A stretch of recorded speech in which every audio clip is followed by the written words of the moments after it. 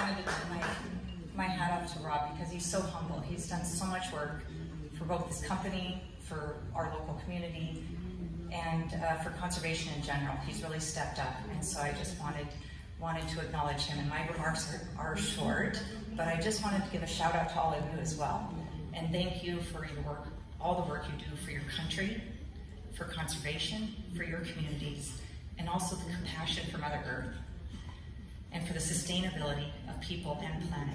Because that's what we're joined here to do, is we're joined together for that unity, for unification of the sustainability of people and planet. Mm-hmm. And compassion is our most achievable